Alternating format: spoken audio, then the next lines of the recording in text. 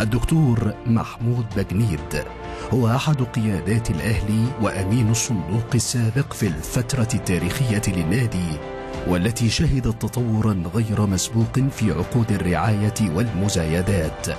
عاصر كل رموز النادي كان شاهدا على العصر بكل ما تحمله الكلمة من معنى.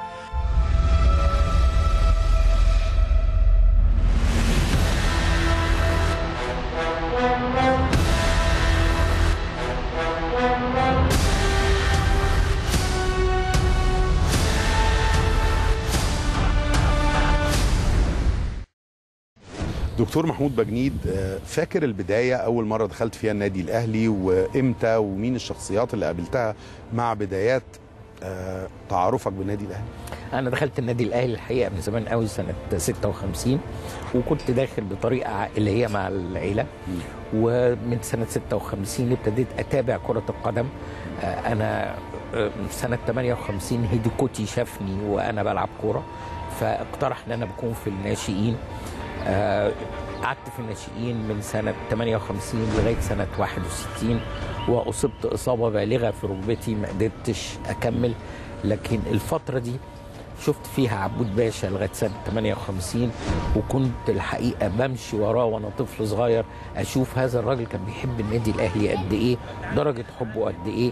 بعد كده صالح سليم كان صديق عزيز جدا ليا.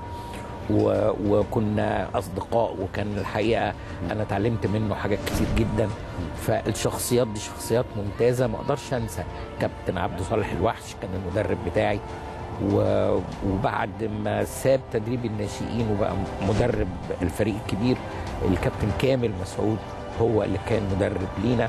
كل هذه الشخصيات شخصيات رائعة ممتازة. النادي كان مركزك إيه في الملعب يا دكتور بجنيد؟ إحنا طبعا لسه هنتكلم مع حضرتك باستفاضة عن كل ما تريد أن تقوله عن كل الشخصيات اللي حضرتك اتعاملت معاها واللي بتحمل ذكرى لها في تاريخ تعاملك مع هذه الشخصيات كرموز كبيرة في تاريخ النادي الأهلي، لكن فيما يتعلق بكرة القدم، حضرتك بتقول أنا لعبت كرة قدم مع النادي الأهلي كنت كابتن الفريق سنة 58 بالظبط. كده لغايه 61 والإصابة في الوقت ده كان طبيا صعب التعامل معاها ما كانش الطب الرياضي تقدم ما أقدرش إن أنا آه. ما قدروش يعملوا حاجة لركبتي وأنا كنت inside left و... وكنت scorer والحقيقة كان في يعني المدربين بتوعي كابتن عبد صالح الوحش والكابتن كامل مسعود. كانوا معجبين بيا جدا لكن ربنا ما أرادش إن أنا أكمل في نفس ال career. وكان عندك الرغبة في الاستمرار وكان عندي رغبة شديدة في الاستمرار الحقيقة لأن حبي لكرة القدم كان حاجة خيالية. وحبي للنادي الأهلي كان زي حبي لكرة القدم. ليه أنا حبيت النادي الأهلي؟ لأن زي ما أنتم عارفين النادي الأهلي أقيم لأسباب وطنية. والنادي الأهلي ده اتعمل علشان المصريين وسمي الأهلي علشان أهل مصر لأن و... الأندية كانت للأجانب في الوقت وكان ده. نادي الجزيرة للإنجليز م. وكان اتعمل النادي الأهلي للمصريين وكان رئيس النادي الأهلي دايما هو رئيس وزراء مصر م. من الأول سعد باشا زغلول وعبد الخالق باشا ثروت جعفر والي باشا كل رؤساء وزراء مصر هم رؤساء النادي الأهلي إلى أن جاءت فترة كان ضروري حد businessman كبير يمسكه لأن كانت النواحي المادية عايزة تثبيت فعبود باشا جه ومسكه وكل دخل شركة السكر المصرية كان بيجي للنادي الأهلي. قد إيه حب هذا الرجل للنادي الأهلي فوق الخيال. آه الراجل ده يعني من ضمن الناس اللي هو كان معتني بيهم كان معتني كابتن صالح كابتن عبد الوهاب سليم الكابتن طارق سليم الناس اللي قدام الناس الجميلة آه الحقيقة آه عبود باشا من الناس اللي أثروا جدا في, في هذا النادي وضروري نقول هو النادي الأهلي لبس أحمر ليه؟ هنقول ده ده سؤالي التالي لحضرتك لكن حضرتك بتقول إن جزء كبير من حبك للنادي الأهلي كان مرتبط بأمرين حبك في الأساس لكرة القدم حتى لو ما استمرتش في الملاعب كلاعب كرة والأمر الثاني ارتباط النادي الأهلي منذ مولد النادي الأهلي بالكيان المصري بشكل عام بالزبط. جزء من النسيج المصري. بالظبط. كان في ثلاث كيانات كبار. كان نادي الجزيرة واخده الإنجليز النادي الأهلي واخد كل المصريين. أما الأجانب اللي هم مش إنجليز ومش مصريين اتعمل لهم نادي آه اسمه المختلط. والنادي ده بدأ مكان كازينو قصر النيل. والمختلط ده كان كل الناس اللي مش مصريين اللي جم مصر بيلعبوا فيه زي اليونانيين زي الطلاينة زي ال ال ناس من السودان كتير من النوبة كتير من آه لأن كانت الهجرة إلى مصر هي الحاجة اللي موجودة في هذه الأيام. الهجرة إلى مصر من سنة 47 لسنة 50 زي ما كلكم عارفين إن القاهرة خدت أنظف مدينة في العالم ثلاث سنين وكانت الهجرة إليها جبارة. لأن الحياة فيها كانت راقية الحياة جدا فيها كان مستواها عالي. جدا. فكان في ثلاث كيانات كيان للإنجليز نادي الجزيرة كيان للمصريين هو النادي الأهلي كيان لكل أجنبي آخر وهو المختلط. اللي بعد كده اتنقل وبقى اسمه فاروق ثم اتنقل إلى الزمالك الزمالك فيما بعد. هل تأثرت بشخصية عبود باشا؟ كلام حضرتك عنه. هل أثر في شخصية الدكتور محمود بجنيد الذي أصبح فيما بعد رجل الأعمال المحب للنادي المشارك الداعم اللي بيدخل وحريص على المشاركة من خلال الانتخابات وتولي مناصب إدارية؟ هل تأثرت بهذه الشخصيات اللي دعمت النادي إداريا وماليا؟ تأثرت بيها جدا لأن هو كان لا يبخل على النادي الأهلي بأي شيء. وكنت لدرجة إن أنا ببص على الميزانيات وأنا صغير ميزانية الأهلي- النادي الأهلي كانت 5000 جنيه. ما كانش موجود فيها غير 3500 طلعت حرب باشا تبرع ب 1000 جنيه فبقى 4500 فجه عبود باشا كان راجل مقاول لكنه اشترى شركة السكر المصرية فقط علشان دخلها يجي للنادي الأهلي. وكانت المعسكرات بتاعت النادي الأهلي بتتعمل في شركة السكر المصرية. راجل كان بيحب فعلا النادي الأهلي من حبه لمصر. كان في ربط كان في علاقة. آه اللي بيخش النادي الأهلي بيخش وبيقول أنا داخل حتة فيها المصريين. المصريين الجمال اللي هم ما تقدرش كمان تخش النادي الأهلي وفيها المصريين وما تلاقيهمش لابسين أحمر. ضروري هتلاقيهم لابسين حضرتك بقى. كنت بتشير لهذا الأمر ليه؟ النادي الأهلي ارتبط باللون الأحمر تحديدا ولبس الفانيلا الحمراء تاريخ إنشاء النادي الأهلي سنة 1907 كان علم مصر لونه أحمر. فإن أهلي لبس اللون الأحمر عشان يمثل الوطنية المصرية. ولما نقول العب بروح الفانيلا الحمراء بنقصد العب بروح على مصر. موت نفسك عشان مصر. فالنادي الأهلي آه، آه، اللون الأحمر ده تمثيل للوطنية المصرية. تلون بلون مصر تلون بداية نشأة بلون هذا مصر النادي بداية نشأة هذا النادي. آه رؤساء وزراء مصر جم رؤساء للنادي الأهلي. حتى جاءت جاء عبود باشا. وبعد عبود باشا حصل التأميم بتاعه فجه آه مجموعة من العسكريين ثم مسكوا مجموعة من الرياضيين ابتدأوا بدأوا بكابتن عبد صالح العشو كابتن صالح سليم الرياضيين. نعم. فالنادي الأهلي مر في ثلاثة مراحل. حضرتك من الشخصيات أيضا التي لا تتحدث ابدا عن أنها قدمت شيئا ما للنادي الأهلي. في إنجازات الكل بيبقى عارفها بتبقى معلنة رسميا. آه، اللي حضرتك شاركت فيه من قرارات وهنتكلم عنها فيما بعد في هذا الحوار مع مجلس الإدارة. أكتر من مرة حضرتك كنت فيها داخل مجلس الإدارة وفي هذا الكيان كمسؤول من المسؤولين أو كأمين للصندوق لكن كمحب وداعم للنادي ضمن آخرين. حضرتك من الشخصيات التي تميل إلى عدم الإعلان عما يقدم للنادي وتحب أن يتم دعم النادي ولكن دو دون أن يعلن الداعم هذا الأمر. ما ده يقولش أنا اديت ده للنادي. كلام حقيقي لأن هو الواقع والحقيقة. إن دائما مجلس الإدارة مجتمع ومكتمل بياخد قرارات. ما تبقاش قرارات فردية بتبقى قرارات مجتمعة من مجلس الإدارة بيقولها وبتتنفذ. وكان في قناعة في قناعتين كبار قوي. آه آه أنا اتعلمتهم من الكابتن صالح سليم بالذات.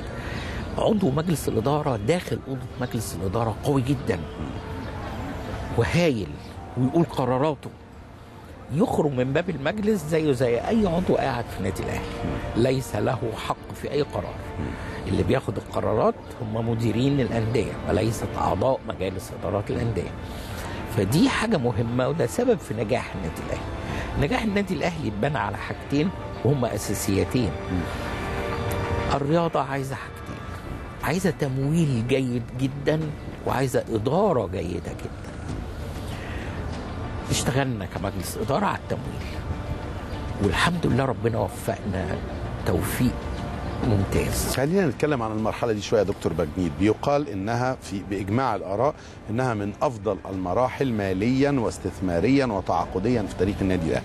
مرحلة كان فيها رئيس النادي الكابتن حسن حمدي والكابتن محمود الخطيب نائب للرئيس وحضرتك أمين للصندوق مع مجموعة متميزة جدا من أعضاء مجلس الإدارة منهم من المجلس الحالي أيضا المهندس خالد مرتجي الأستاذ خالد الدرندلي آه، وشخصيات أخرى. إلى أي مدى حضرتك شايف إن قدرتوا آه، ربنا سبحانه وتعالى وفقكم وقدرتوا برؤية سليمة وقراءة سليمة للمشهد انكم تعملوا نقلة حقيقية استثماريا ورياضيا واداريا وماليا في النادي الأهلي. هو الحقيقة إحنا عملنا نقلة كويسة قوي إحنا آه، بس عايز أدي فكرة إن إحنا حتى حقوق الرعاية مع بعض كده كانت قبلينا بتتباع ب 3 مليون في مجلسنا نقلناه من 3 مليون ل 150 مليون. آه آه ليه؟ لأن كنا ابتدينا ناخد بطولات على مستوى عالي. أنت في الآخر الرياضة والأندية عبارة عن استثمار بتقدر تاخد من وراه كل حاجة. إذا أنت استثمرت في لعيبة كويسة خدت بطولات تيجي تبيع فانيلتك بصورة أحسن بكتير.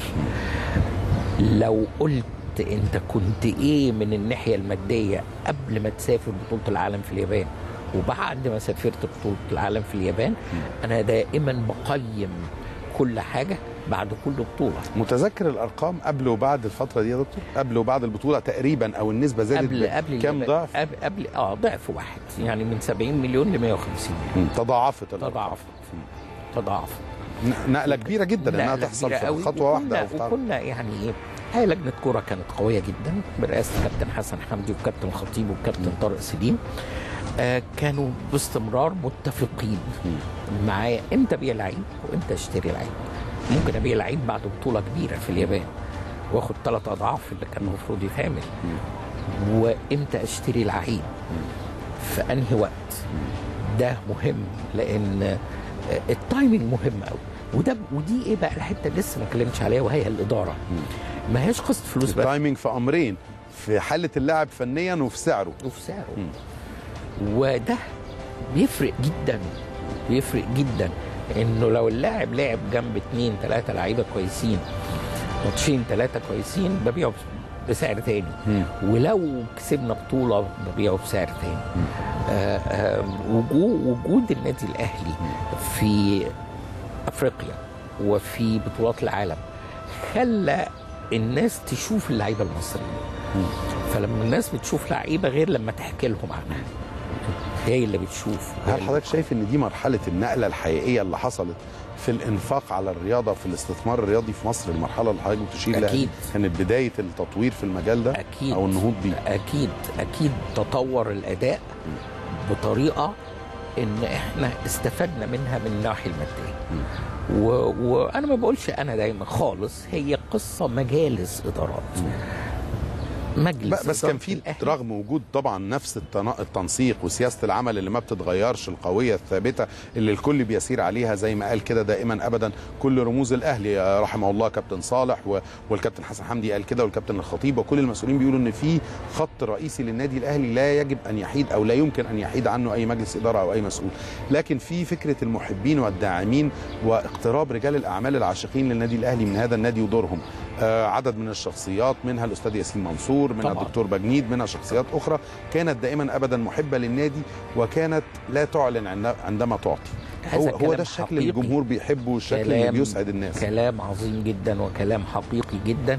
والشخصيات اللي زي اللي أنت ذكرتها دلوقتي دي ساهمت قوي ساهمت حقيقي في إن آه، النادي الأهلي يعلو ويعلو تماما لأنهم الحقيقة آه، أعطوا من عندهم ومن جيبهم حاجات كتيره قوي رفعت من الحالة المعنوية للعيبة ورفعت من آه، وما كانوش يتحدثوا عن هذا الأمر. كان مجلس الاداره اللي يقول للإعلام بنشكر وبنشيد بالجهود دي وبنثني يعني بنثني عليها ونقدرها. هذا خالص فعلا.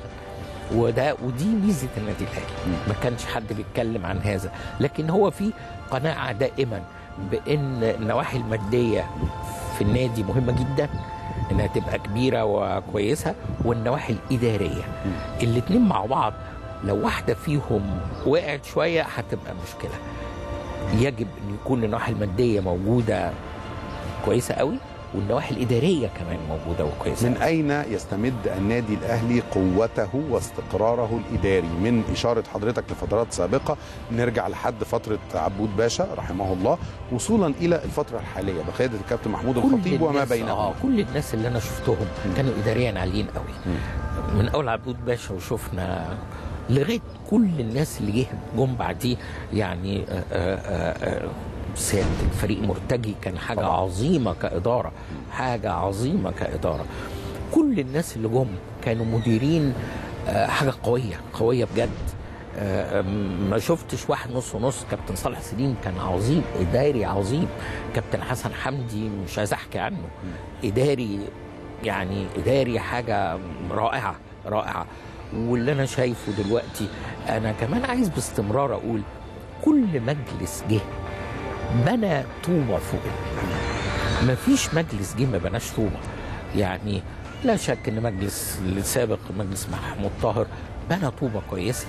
مجلس الخطيب دلوقتي مجلس مجلس راقي ومجلس عظيم ومجلس متزن وبيشتغلوا بمنتهى الذكاء وبيشتغلوا بحكمة كويسة.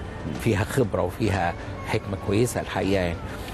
كل مجلس أنا شفته في النادي الأهلي وأنا قديم في النادي الأهلي كده بنى حاجة وسلمها للي بعديه واللي بعديه خدها وبنى فوقيها حاجة. ما هكرر بقى السؤال لحضرتك مرة تانية الكلام ده مهم جدا ويقودنا للسؤال اللي أنا طرحته منذ قليل. ما هو السر في قوة واستقرار مجالس الإدارة المتعاقبة في النادي الأهلي. إيه ال common ground اللي دايما أي مجلس إدارة بيتولى المسؤولية يقف عليه في النادي الأهلي؟ الخطوط اللي هي متفق على إن دي ثوابت النادي الأهلي. أنا شخصيا شفت شفت حتة الأهلي فوق الجميع موجودة عندهم كلهم. ووجدتها وجدتها في, في, في الناس اللي عاشرتهم وقربت قوي منهم. وجدتها في الفريق مرتجي قوي وركبتها في كابتن عبد صالح الوحشي قوي وركبتها في الكابتن صالح سليم بطريقة آه كابتن صالح سليم آه انت ما بتصورش كان حبه للنادي الأهلي أكتر من حبه لذاته حقيقي بتكلم بجد يعني. آه حاجة رائعة.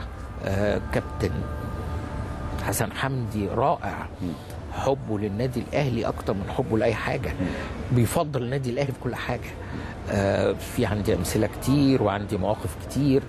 آه الأهلي فوق الجميع كانت موجودة من زمن بعيد ومتنفذة من زمن بعيد وما لقيتش حد ماش حاططها فوق أساس للعمل أساس في للعمل في النادي الأهلي. ما حدش جه النادي الأهلي علشان أي حاجة شخصية. كل الناس جت النادي الأهلي حبا في الكيان حبا في الكيان. وهو وهي الحكاية جت إزاي؟ إن حب الكيان جه أساسا حب للمصريين.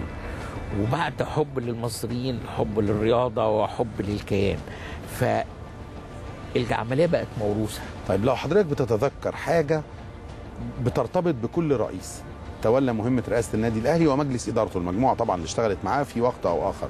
يعني نبدأ بعبود باشا. لو حضرتك قلت في عبارة سريعة أنا بالنسبة لي فترة عبود باشا تعني كذا. أنا بالنسبة لي فترة عبود باشا بصرف النظر إن هو شخصيا كان في النادي كل يوم وكان بيفوت على الناس واللعيبة والفرقة وهي نازلة يقف معاهم مديهم باور إنه يخلي شركة السكر المصرية الراجل ده كان مقاول يشتري شركة عشان يصرف بيها على نادي زي ده حبا في مصر. ده ما فيش أحلى من كده. آه الكابتن صالح سليم لما يجي له تمويل رهيب من السعودية يقوم يحطه باسم النادي الأهلي في, في والدعم ده كان جاي للكابتن صالح بشكل شخصي بالثقه صفته وشخصه لكن ثقة في شخصه. هو وجهه لخزانة النادي الأهلي. وخزانه النادي الأهلي. واشترى بيه جزء في هيلتون رمسيس. لا أنا شفت شفت الناس بتحب النادي الأهلي. آه أكتر من نفسها. أنا شفت الناس دي. والفريق مرتجي رحمه الله. يا حضرتك أشرت العبود باشا والكابتن صالح سليم رحمه الله الفريق مرتجي. الأهلي فوق الوصف. الحقيقة أنا الراجل ده عاشرته يمكن من بعيد شوية. آه هو في قرابة بيننا وبينه. إنما هو كنت بمشي جنبه أتفرج. إيه إيه الحب للنادي الأهلي ده؟ إيه التضحية دي اللي مش ممكن أكتر من كده؟ ولذلك تلاقي في عهودهم كلها النادي الاهلي كان بياخد على طول البطولات بشكل طبعا إحنا بناخد أمثلة آه، مجموعة من أهم الرموز في تاريخ النادي ولا يمكن أن نوفيهم جميعا حقهم فيما قدموه للنادي. لكن بناخد أمثلة وبربطها برؤية حضرتك لكل فترة بقيادة شخصية من هذه الشخصيات أو رمز من هذه الرموز. لو اتكلمنا شوية بقى عن كابتن حسن حمدي حضرتك قلت الأمثلة كثيرة جدا. عايزين مثال أو أكتر الناس ما تعرفوش المشاهدين والجمهور ما يعرفوش بيدلل على إنه كانت فترة مميزة جدا لما أدار النادي مع مجلس الإدارة أو كرئيس للنادي كابتن. الحقيقة كابتن حسن شخصية متميزة مدير ناجح جدا إدارة إدارة ناجحة تماما خبرة في الكورة عالية قوي حقيقي آه، تضحية من أجل النادي بكل ما أوتى من قوة آه، آه، ما أقدرش أنسى إن حبه للنادي الأهلي فاق حبه لأي مؤسسة أخرى لدرجة إن هو كان يجي يقعد معايا يقول لي حمدي حقوق الرعايه بكام وإزاي؟ جه الأهرام ما جاش الأهرام ما تفرقش. الجماعه بتوع الأهرام لما زودناها من 3 مليون ل 150 مليون كانوا بيعيطوا يقول لي ولا يهمك. ولا يهمك. كان حبه إن ناخد ال 150 مليون أكتر من حبه إن الأهرام هيدفع 150 مليون. الراجل بتاع كانت أولويته دايما النادي الأهلي النادي في التفكير في التعاقدات. بشكل وأنا اتناقشت مع حضرتك لو حضرتك تتذكر من سنوات على الهواء في وقت ما كان الكابتن حسن رئيس للنادي واتناقشنا في فكرة الانتقادات اللي كانت بتوجه للنادي في الوقت ده إنه أنتوا عندكم ميزة إن الكابتن حسن متولي منصب كبير جدا وقيادي في الأهرام وهو رئيس النادي الأهلي في نفس الوقت. لكن حضرتك قلت لنا يا جماعة الموضوع مرتبط بحجم النجاحات حجم الظهور اعلاميا بالظبط. حجم ال- القيمة حتى أو ال أو النوع الكاريزما الإعلامية لنجوم النادي ومسؤوليه ولاعبيه. كل ده بيفرق في التعاقد وبيفرق في المعلنين وعقود الرعاية وكل شيء.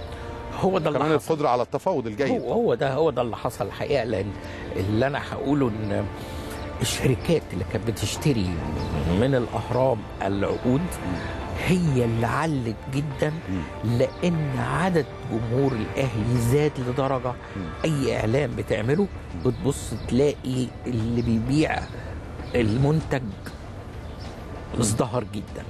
فأصبح كونك تبقى في النادي الأهلي دي حاجة كبيرة لأن 80% من الشعب المصري. النادي الأهلي لو النادي الأهلي اياميها كان 80 مليون ولا 90 مليون يعني بتتكلم مع 70 مليون بني آدم. 70 مليون بني آدم مستعد يعمل أي حاجة للنادي الأهلي وبتكلم بجد. وأنا شفت أمثلة رائعة كتير. آه والحكاية موروثة. جاية من أيام سعد باشا غلول من أب لابن لابن.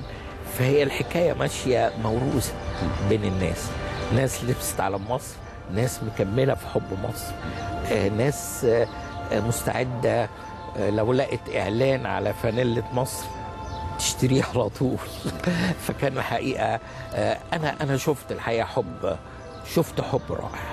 شفت حب رائع. وحضرتك شايف إن فعلا الفترة دي كانت من أنجح الفترات للنادي الأهلي في ترتيباته الإدارية والمالية والاستثمارية. فترة الكابتن حسن وكابتن الخطيب والدكتور بجنيد ومجلس الإدارة الذي كان مشاركا معهم في آه، مش قادر أقول أنجح أنا عايز أقول إنها لا طبعا. بنقول واحدة من أهم الفترات. واحدة ما نقدرش نقول على. الإطلاق. هي الحاجة الظريفة بنعمل مقارنات هنا بس آه، بنذكر. الحاجة الظريفة فيها إن البطولات 11 بطولة بطولة دوري في 11 سنة. بطولات كاس بطولات أفريقيا. الظهور عالميا من خلال كاس ظهور العالم عالميا. من, خلال لعب كاس العالم. آه، حصل يعني- معادلة آه، مع أي منافس كان متفوق في أي بطولة قارية وتخطيه في. المرحلة دي. الأهلي زود رصيده بشكل كبير من كل البطولات عشان يبقى. في الصدارة. بالظبط. وساعتها اتحطت النجمة الثالثة على العالم الأهلي. النهارده اتحطت النجمة النجمة الرابعة الرابعة. على العالم النادي الأهلي. إحنا بنتكلم في عدد بطولات آه، جميع الأندية في مصر ما جابتش مع بعض ما جابتش نص هذا العدد. طيب هسأل حضرتك عن فترة مش عارف حضرتك كنت متوقع نسأل عنها ولا لأ قبل ما نسأل عن رؤيتك لمجلس الإدارة الحالي بقيادة كابتن الخطيب والكابتن العمري فاروق والأستاذ خالد الدرندلي وكل المجموعة المتميزة الموجودة معاهم طبعا ومنها المهندس خالد مرتجي بالتأكيد من أصحاب الخبرات الكبيرة في المجلس الحالي. دار حوار في الوسط الرياضي وكان دار حوار من فترة طويلة بيني وبين حضرتك قبل الانتخابات إنه حضرتك دائما ابدا من الأسماء اللي مطروح وجودها في مجلس الإدارة. وحضرتك قلت إن ده مطروح وإن في مناقشات بهذا الشأن وإن حضرتك ما استقرتش على قرار وإنه جاري ال- التفاوض مع المجموعة ومع الكابتن الخطيب وكل ال ال الكوادر الكبيرة في النادي الأهلي. ماذا حدث وليه استقر قرار الدكتور بجنيد على عدم خوض الانتخابات ودخول مجلس الإدارة في الفترة آه، في حتة شخصية وحتة تمس النادي الأهلي. الحتة الشخصية إن أنا آه، شغلي الحقيقة آه، بيحتم عليا أسافر كتير قوي. فوجودي خارج مصر كان مش هيبقى يخليني قاعد بصفة مستمرة زي ما كنت قبل كده باجي النادي أربع خمس ساعات في اليوم. فده خلاني أقول طيب خليني إيه آه شوية ولكني آه آه ده من ناحية آه الشخصي. آه من ناحية النادي الأهلي أنا لازلت موجود معاهم. أنا يوميا موجود معاهم. أنا على طول آه بعتبر نفسي واحد منهم.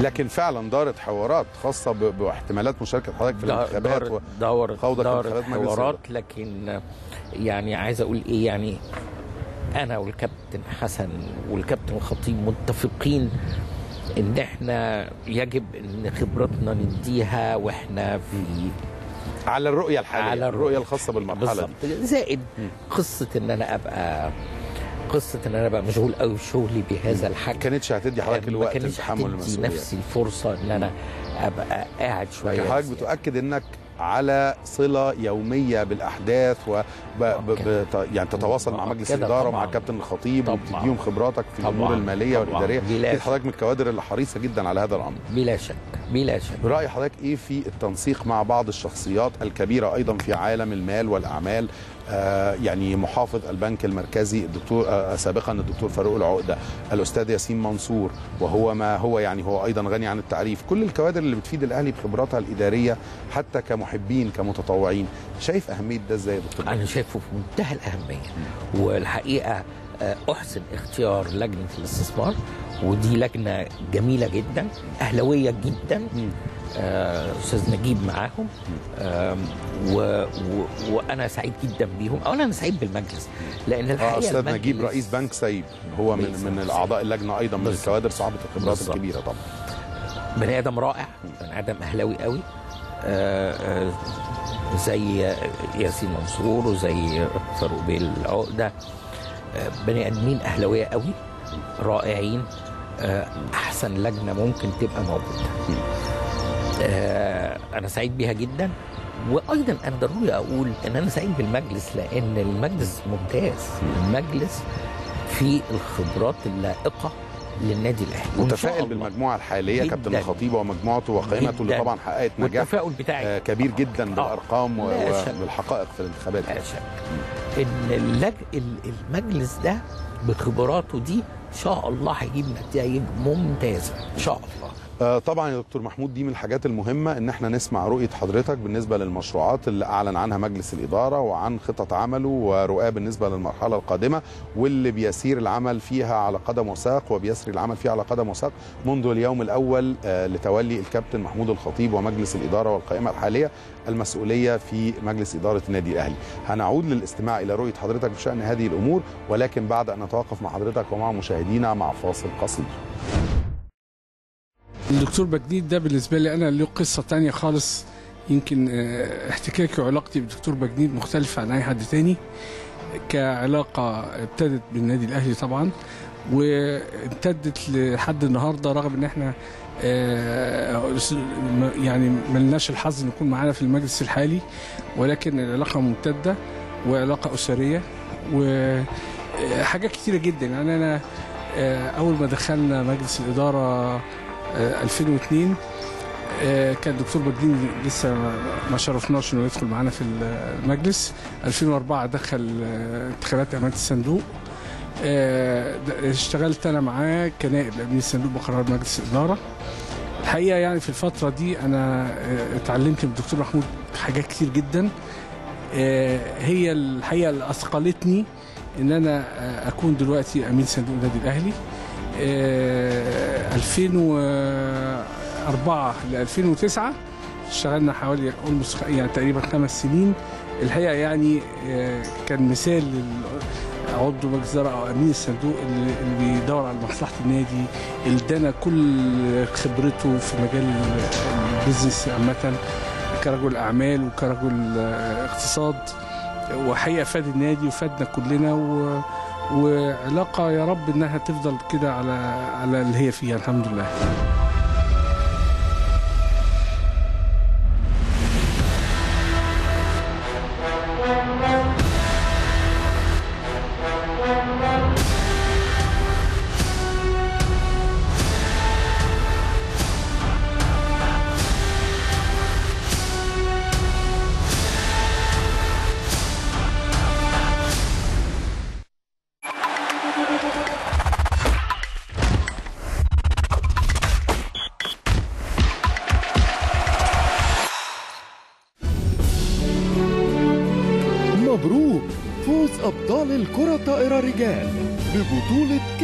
كاس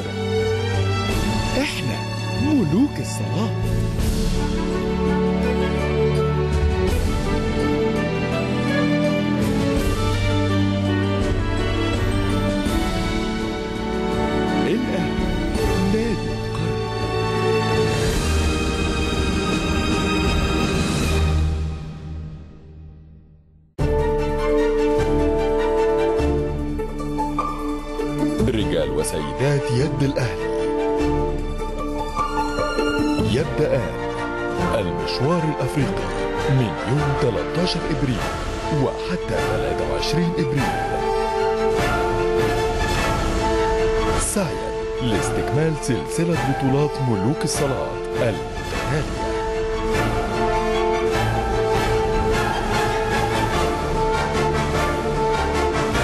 انتظرونا على قناة الأهلي. أحلى كوره في أفريقيا أحلى كورة في مصر. رجعتنا لايام جميلة. ولعبها بوش رجله خلاصه لعب الكابتن كوبي من احسن جوان جابها في حياته. 1907 لغاية دلوقتي. بيت نجوم النادي الأهلي. ماتشات زمان. السبت الساعة العاشرة مساء. على قناة الأهلي.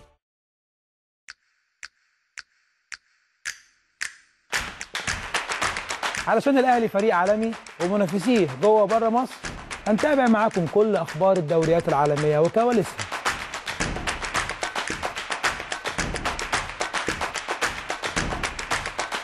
الدوري الإنجليزي والأسباني والإيطالي والألماني والفرنسي على قناة الأهلي. مع وارن سكر مش هتفوت لحظة في الدوريات العالمية. وورد سوكر الجمعة الساعة التاسعة مساء. على قناة الأهلي.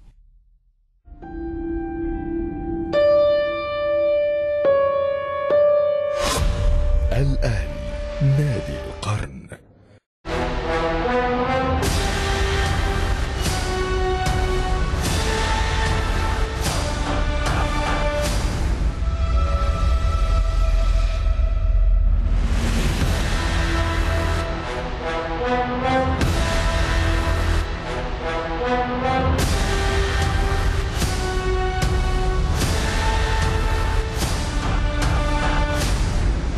الدكتور محمود بجنيد ده بالنسبة لي مش شخص عادي. يعني الدكتور مح- محمود بجنيد يمكن أنا دخلت المجلس 2004 آه، معاه هو آه، كان أول مرة يبقى هو أمين صندوق. والحقيقة كان قيمة كبيرة جدا اتعلمنا منه جامد جدا. يعني عايز أقول من من من الناس القليلة اللي فعلت دور أمين الصندوق في النادي الأهلي آه، لأنه كان بيشتغل يمكن 16 ساعة في اليوم. كان طول النهار قاعد في النادي الأهلي كان دايما بيفكر بفكر استثماري لأن ميزة الدكتور محمود بجنيد كمان إن هو رجل استثمار. يعني رجل أعمال ناجح جدا في شغله فكان آه، بيدار آه، صندوق النادي الأهلي آه، بطريقة استثمارية من أوائل الناس اللي إحنا فعلنا أو أو عظم الرعاة بتاعت النادي الأهلي أو كراسة الشروط هو اللي يمكن حط المواصفات بتاعتها وعشان كده جابت لنا عائد كبير جدا في ذلك الوقت يعني مقارنة باللي قبل كده. فالحقيقة كان له دور كبير قوي ويعني الحقيقة بنشهد ليه كلنا. ويمكن هو كان أستاذ خالد الدرندلي النهارده خالد الدرندلي هو أمين الصندوق. يمكن هو اتعلم من محمود بجنيد. فالحقيقة محمود بجنيد لغاية النهارده له بصمة علينا. وعايز أقول إن إحنا في الدورة اللي هو خسر فيها من 2009 ل 2014 مفيش شك إن كانت خسارة كبيرة قوي. كنا نتمنى إن هو يكون موجود معانا في هذه الدورة. أهلا بحضراتكم مرة تانية. ما زلنا معكم من خلال الأهلي يحاور ونجدد الترحيب بضيفنا النهارده الدكتور محمود بجنيد وهو من كبار المسؤولين في تاريخ النادي الأهلي وأمين صندوق النادي الأهلي سابقا. أهلا بحضرتك مرة تانية يا دكتور. أهلا. قبل الفاصل كنا بنسأل حضرتك عن رؤيتك وتوقعاتك وأمنياتك. للكابتن محمود الخطيب ومجلس الإدارة الحالي ورأي حضرتك فيما أعلن عنه كباكورة أعمال خلال الفترة الأولى لهذه الولاية. أنا سعيد جدا بالمجلس. وسعيد باختياره وشايف إنه مجلس متناسق جدا. الخبرات اللي فيه هي الخبرات المطلوبة فعلا. وأنا بتوقع إن شاء الله إن الأمور هي هايلة دلوقتي وهتتحسن باستمرار إن شاء الله. الفكر الموجود فكر أنا مبسوط منه وإن شاء الله ربنا يسا- يساعدنا في تحقيقه إن شاء الله. نعم. آه الكابتن صالح سليم سألت حضرتك عن أكثر من شخصية من الشخصيات التي تولت والرموز آه الكبيرة في تاريخ النادي الأهلي منهم عبود باشا منهم الفريق مرتجي منهم الكابتن حسن حمدي. وحضرتك قلت توقعاتك كمان بالنسبة للكابتن خطيب. كابتن صالح سليم دايما ارتبط اسم النادي الأهلي عند كل آه، محبي النادي الأهلي في كل مكان داخل وخارج مصر بالكابتن صالح سليم. إيه الخطوط العريضة العناوين الرئيسية اللي دائما ابدا حضرتك بتتذكرها من خلال معرفتك على المستوى الشخصي وتعاملك مع الكابتن صالح وعلاقة الكابتن صالح بالنادي الأهلي؟ إيه إيه الحاجات اللي عمرك ما تنساها عن الكابتن صالح وعلاقته لا؟ الكابتن صالح آه، يعني حتة الأهلي فوق الجميع أعتقد إنها جاية من جواه. آه، كان دائما أي شيء بنتكلم فيه يحط الأهلي فوق كل حاجة. حقيقي يعني. آه، بني آدم حبه لهذا الكيان فاق كل حاجة. آه، كان بيلعب الكورة وهو بيحب هذا النادي وبيلعبها لهذا السبب. حبه للنادي أكتر من حبه للكورة وده أنا لقيته جواه. آه كان وهو يعني في الحياة الاجتماعية بتاعته راجل رائع وجميل مش قادر أوصف قد إيه. آه لا الحقيقة بني آدم آه عشرته جميله تأثرت بيه. بشكل كبير حضرتك جداً. وكابتن الخطيب وكابتن حسن جداً. حمدي يعني تأثرنا بيه حقيقي كل القيادات اللي اتعاملت مع الكابتن صالح فترة طويلة على المستوى الشخصي وعلى المستوى الإداري في النادي تأثرت بسياساته في النادي بشكل كبير وأسلوب أوي. إدارته. بشكل حقيقي ممتاز إدارة موهبة موهبة موهبة وعنده حتة حب للنادي الأهلي كل حاجة صادرة من هذه ال- الموهبة. يقال دايما إن كابتن صالح كان من الشخصيات أو القيادات في تاريخ النادي والرموز اللي لها بصمة واضحة جدا في فكرة قوة الكيان فكرة إن الكيان ما فيش شخص يملي عليه آه، يعني شيء ولا يفرض عليه شيء مهما كان حاجة النادي لهذا الشخص سواء كان لاعب نجم مسؤول آه، رجل أعمال أيا كان تأثيره أنه لا يمكن أن يفرض إرادته على ما فيه الصالح العام للكيان نفسه. هو ده دايما. الكابتن صالح كان ده شخصيته حقيقي. كده. كانت شخصيته شخصية حاطط كيان الأهلي فوق أي حاجة. آه الحقيقة طلب منه في أوقات كتيرة حاجات مش لصالح النادي الأهلي من ناس سياسيين بدون ذكر أسماء. لا يمكن لا يمكن كيان الأهلي هو الأساس. وهو كل شيء. ثم يجي بعد كده أي حاجة. الحقيقة آه حبه للنادي الأهلي آه كلنا كلنا خدناه منه. نموذج لحب الشخص للكيان جميل. أو الانتماء الشخصي نموذج مكان. جميل الحقيقة جميل. دكتور بجنيد هنتكلم شوية عن في بصمة واضحة جدا للدكتور بجنيد من المرحلة الأولى الخاصة بالتفكير في إطلاق قناة النادي الأهلي. إنشاء شركة الأهلي للإنتاج الإعلامي ثم إطلاق القناة وحضرتك كنت من أصحاب هذه المبادرة والبعض بينسب الفكرة لحضرتك وإن كان طبعا البعض الآخر يقول كان في عدد من القيادات في الوقت ده عندهم نفس التوجه. لكن كتير من الناس قالوا دي كانت فكرة الدكتور بجنيد ده من الآراء اللي سمعناها أكتر من مرة.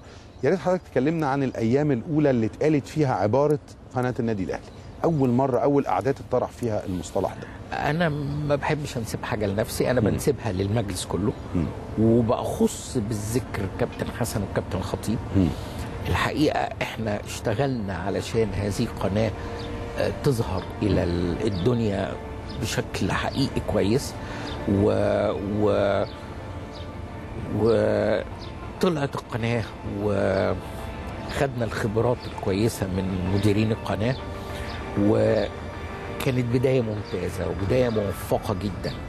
والحقيقة قناة الأهلي ساعدتنا في إن جمهور الأهلي يشوف الأهلي أكتر يشوف بيكسب قد إيه في كل الألعاب ي- يتعاون في إن جمهور الأهلي آه، يحس بالأهلي أكتر بكتير. كان قبل قناة الأهلي اخرنا فرقة تكسب صورة.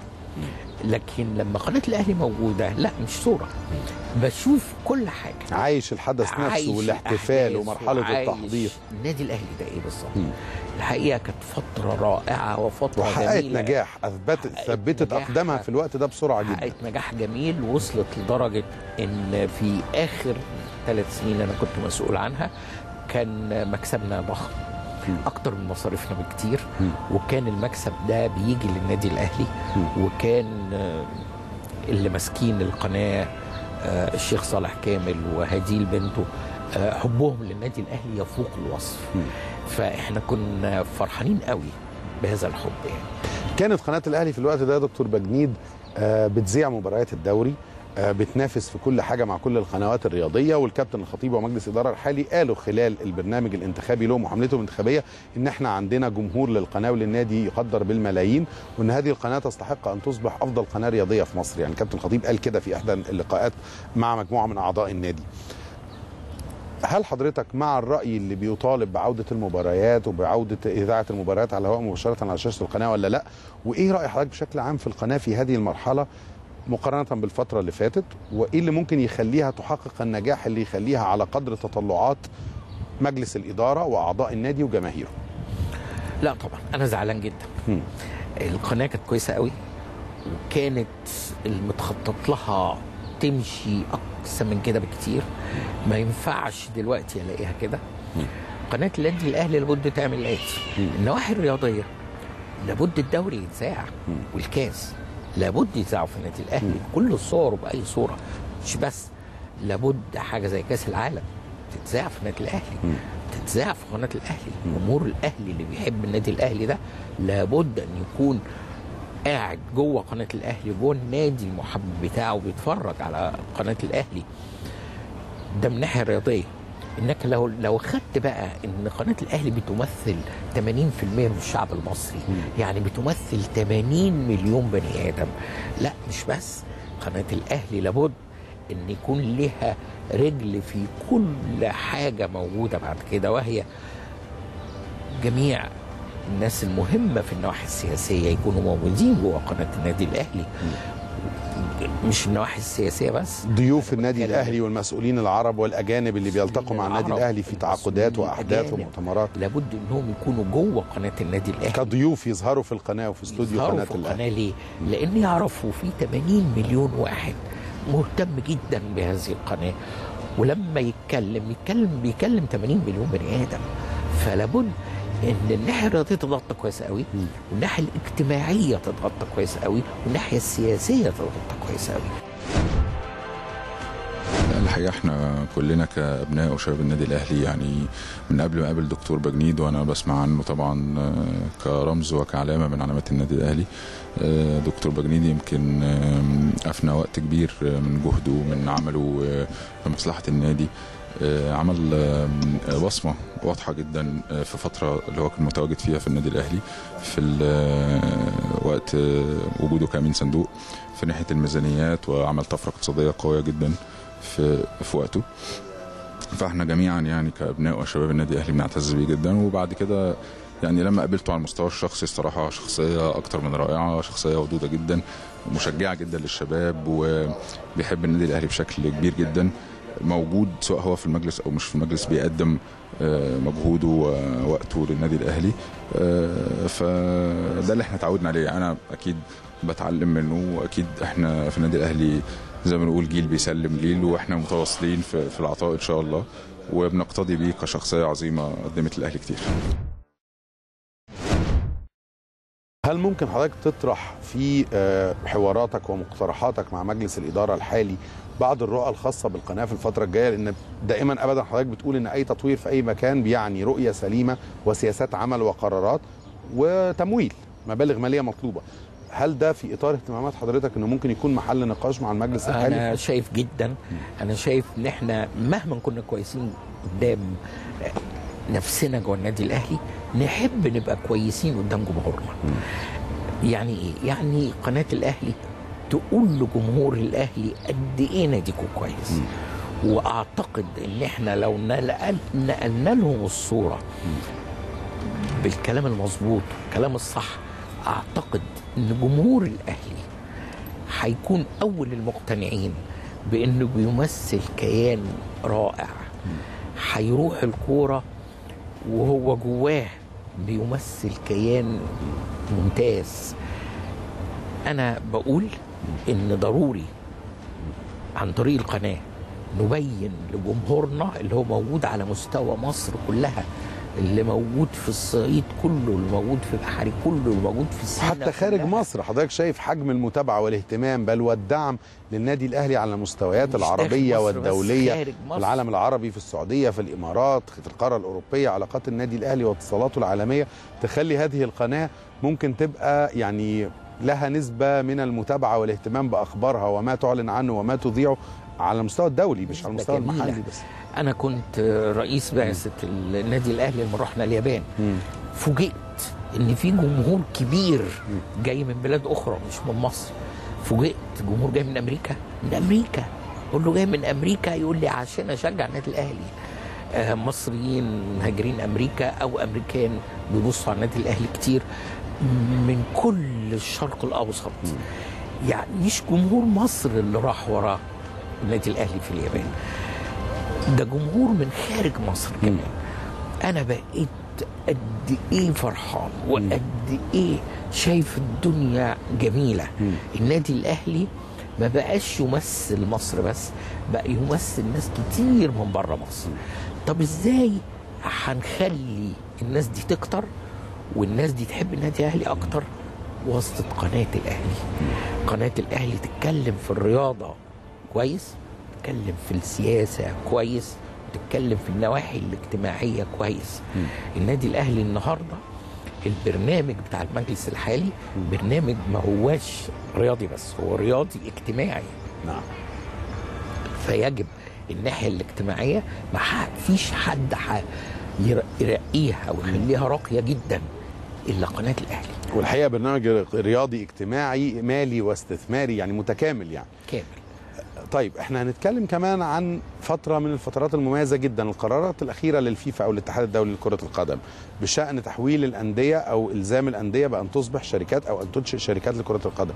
والنادي الأهلي في فترة سابقة وقت مجلس الإدارة اللي كان فيه الكابتن حسن رئيس للمجلس كابتن الخطيب نائب للرئيس وحضرتك أمين للصندوق استضافته شخصيات دولية منهم ممثل الاتحاد الإنجليزي أو رابطة المحترفين في الدوري الإنجليزي لكرة القدم.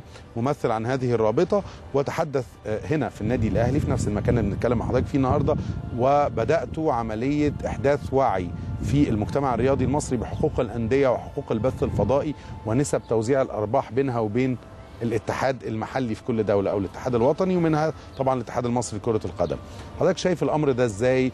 الأمور اللي بتتعلق بشركة كرة القدم وكنتم أصحاب المبادرة للحديث عنها في مصر. خلينا نتكلم على التاريخ شوية النادي الأهلي وجميع الأندية في مصر أنشئت كشركات مساهمة نعم لغاية سنة 58 تم تأميم الرياضة المصرية سنة 58 كل ما يريده الفيفا الاتحاد الدولي هو رجوع الأندية تاني إلى الوضع الطبيعي الموجود على مستوى العالم كله إلى شركات مساهمة بيملك أسهمها اعضائها يعني بمعنى أعضاء النادي الأهلي الحاليين كل واحد هياخد عدد من الأسهم ويكون هو مش عضو في النادي الأهلي بس لا ده بيملك النادي الأهلي كمان. حاجة جميلة إن أنا أشعر إن أنا مش عضو في النادي الأهلي لا ده أنا صاحب النادي الأهلي. حاجة رائعة حاجة حلوة. يا ريت إن الفيفا يعملها. هو كل شرط الفيفا حاجة واحدة إن ما حدش يملك أكتر من 10% من الأسهم ويشترك في نادي آخر عشان ما يبقاش فيه تأثير عليها. ودي حاجة هتبقى موجودة في مصر وحاجة كويسة. هم حتى يعني حضرتك مع القرارات دي؟ جدا.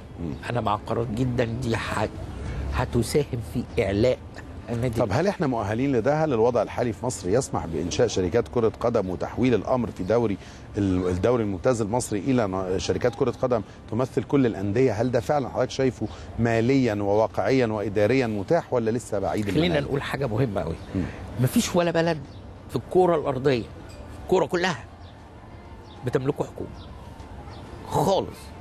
لا في الشرق الأوسط ولا في أوروبا ولا في أمريكا ولا في اليابان. ولا في أمريكا اللاتينيه ولا في افريقيا مفيش ولا نادي حضرتك بتقول الحكومة ولا نادي بتملكه. واحد الحكومة بتملكه. في مصر إيه؟ الحكومة بتملك الانديه ده عدد كبير من الأندية. آه. تابع الهيئات بتتبع ال- الدولة. وهي البلد الوحيدة على مستوى العالم.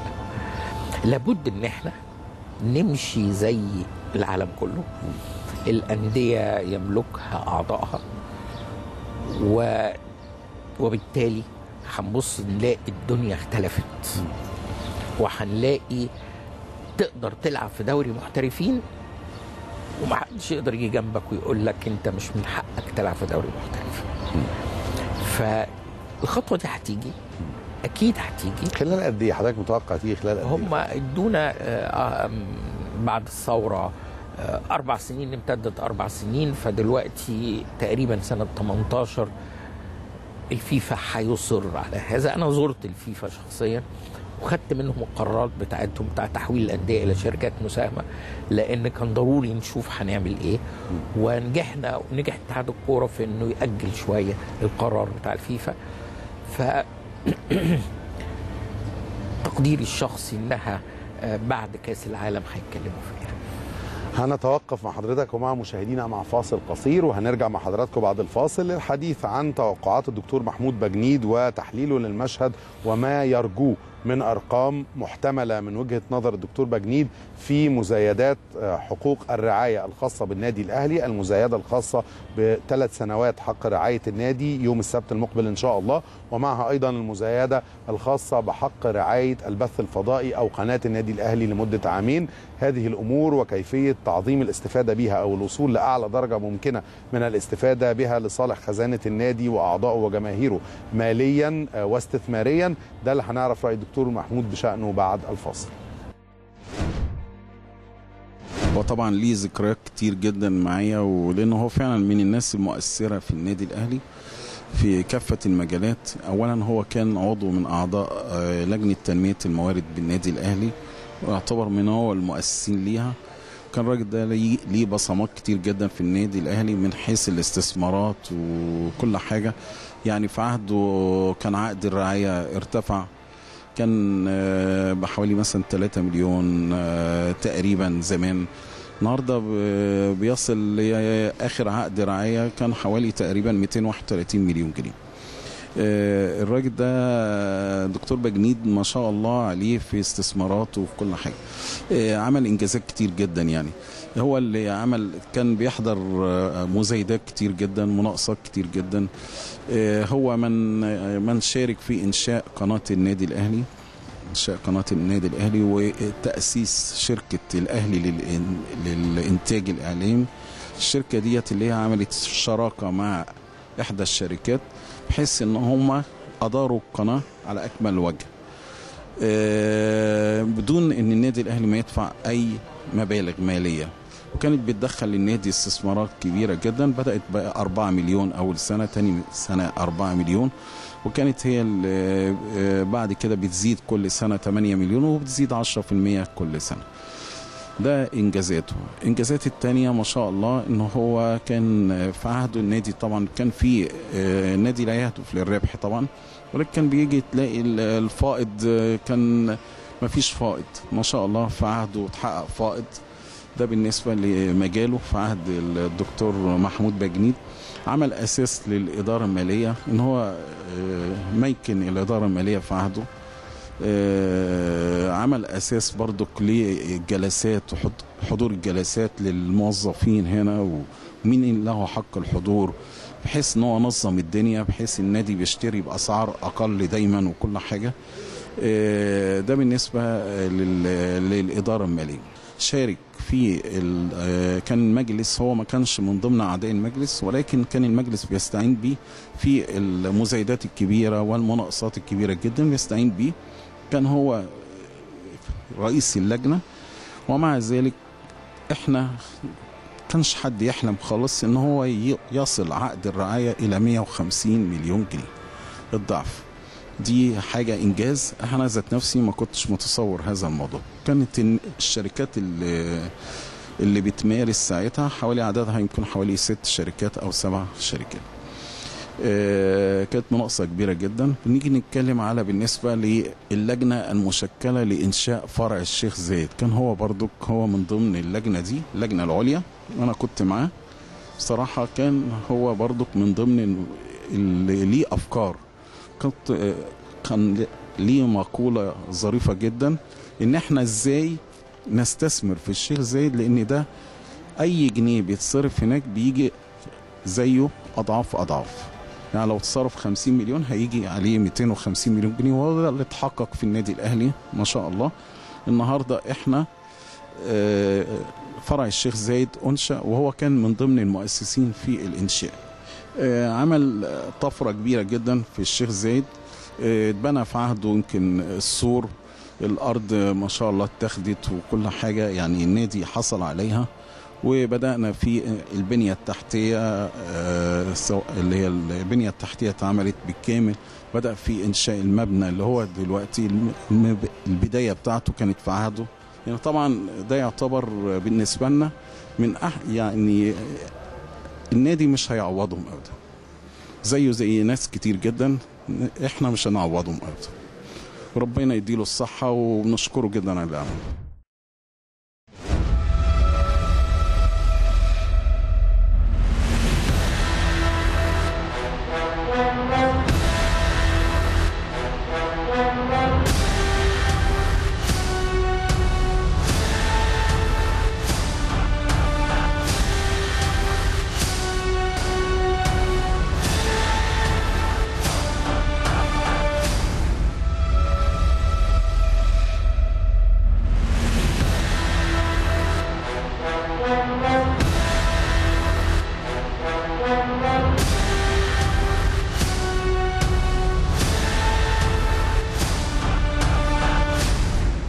الدكتور محمود بجنيد مش مجرد كان أمين صندوق للنادي الأهلي هو واحد من اللي اثروا الحياة التسويقية والاقتصادية والإدارية جوه النادي الأهلي.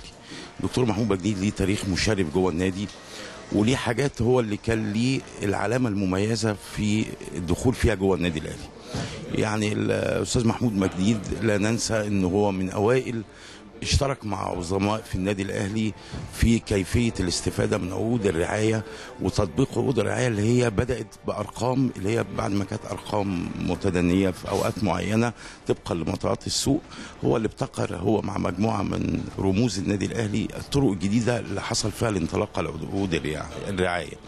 ما ننساش ان القناة اللي إحنا بنتكلم فيها دلوقتي من ضمن اللي ملاهم بصمات قناة النادي الأهلي من ضمن ملاهم بصمات فيها الدكتور محمود بجنيد آه، الدكتور محمود بجنيد آه، فرع الشيخ زايد كان ليه آه، أعرف جيدا في بدايته كان ليه الأفكار اللي تم تطبيقها اول ما خدنا الفرع هو واحد من ضمن منظومة متكاملة لدور النادي الأهلي.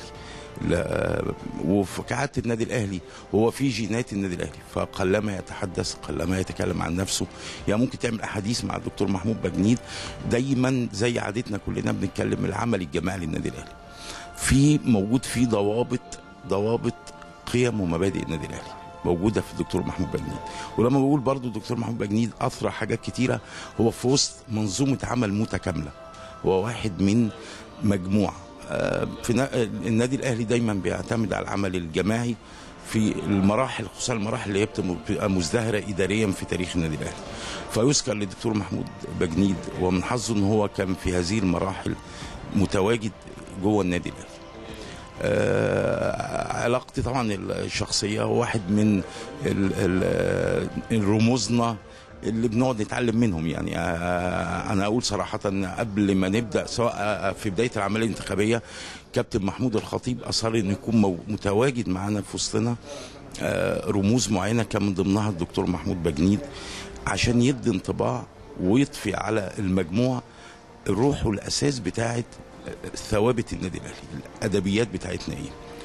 في نفس الوقت لا أنكر إن أول ما بعد ما نجحنا على طول في الانتخابات وربنا وفقنا أنا قعدت مع الدكتور محمود بجنيد قعده مطولة زي ما بعض مع كل رموزنا نتعلم منهم دخولنا المجلس نفسه إيه مجموعة الثوابت وإيه الآراء وإيه ال- الطرق اللي إحنا ممكن نخدم بيها النادي الأهلي ويبقى لينا دور مميز آه، يبقى في قدر من العطاء للنادي الأهلي. الناس دي كلها متعودة على العطاء للنادي الأهلي بالحب.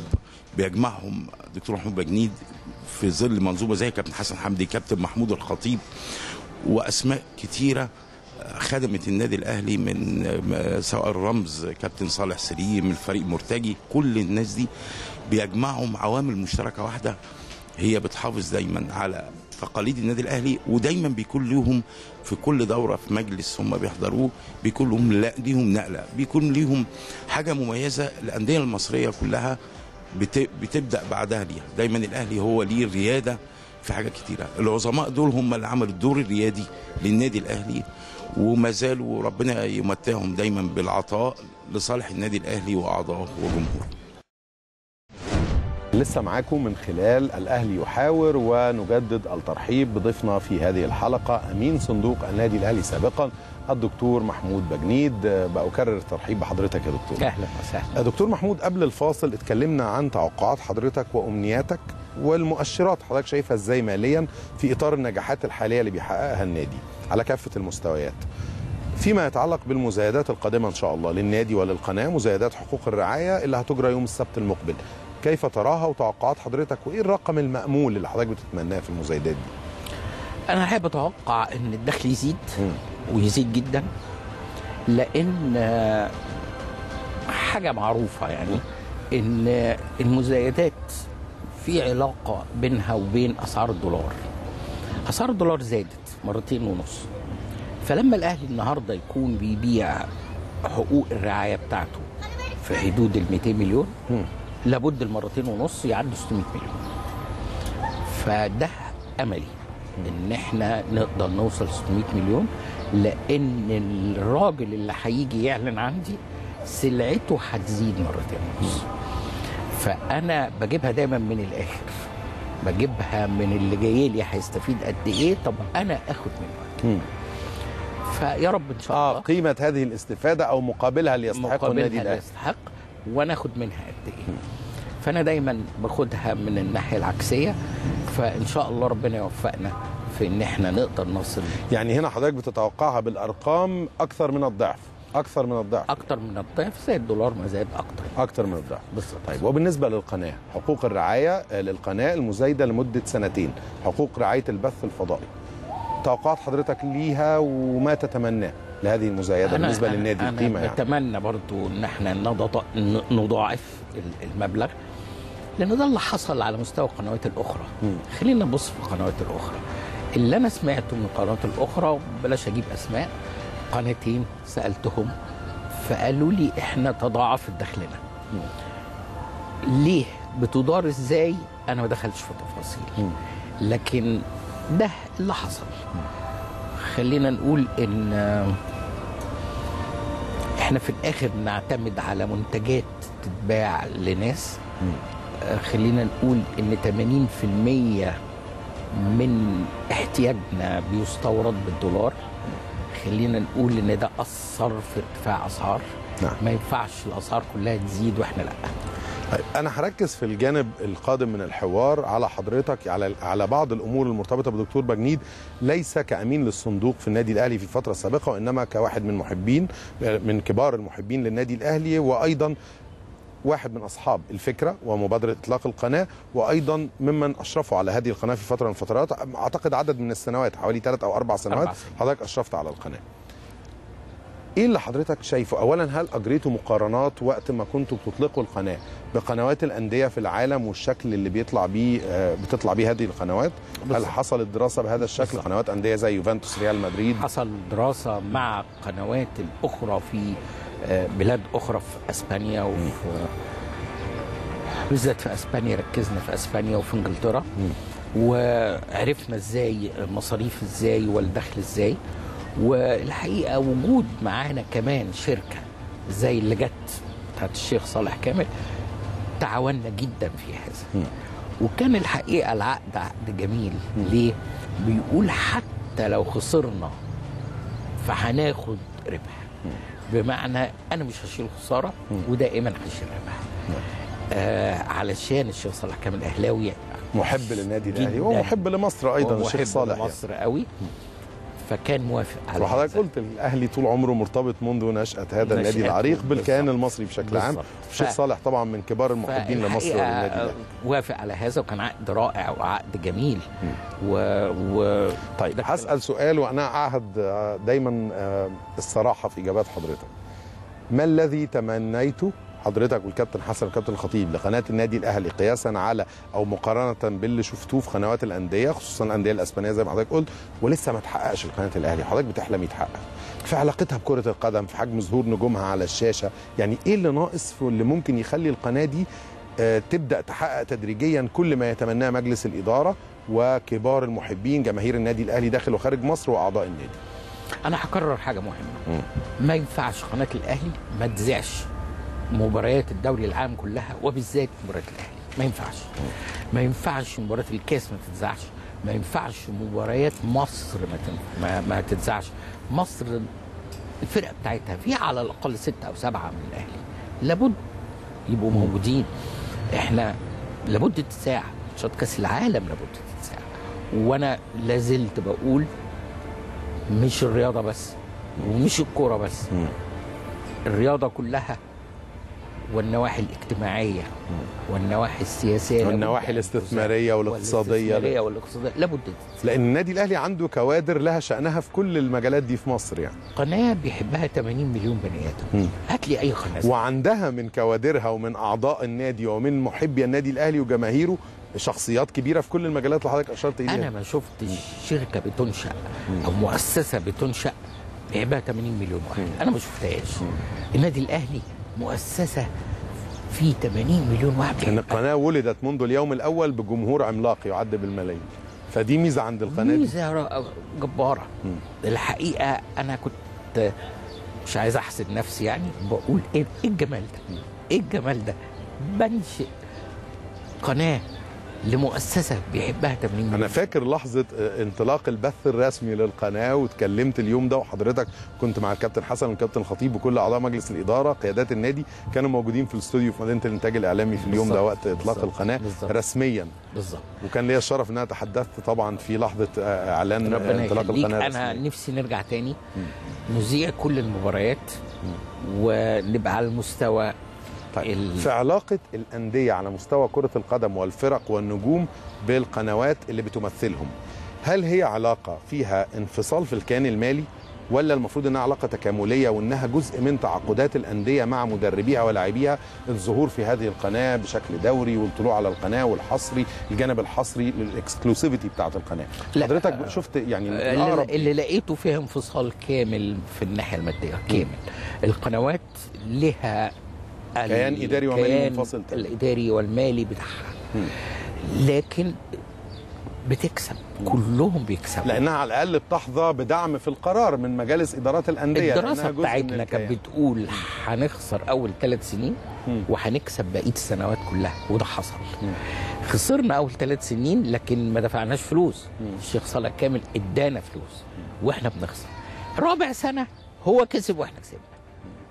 خامس سنة. هو كسب وإحنا كسبنا يعني حضرتك شايف دي كانت win win situation كان كل. الأطراف كسبانة من. التعاقد ده. رائع.